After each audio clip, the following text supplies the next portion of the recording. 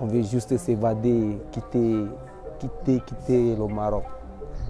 Et si nous sommes au Maroc, nous ne sommes pas venus pour rester au Maroc. On veut juste traverser, c'est tout. C'est difficile la vie, euh, euh, je difficile, mais avec les frères marocains, c'est-à-dire que c'est relax quoi. C'est relax.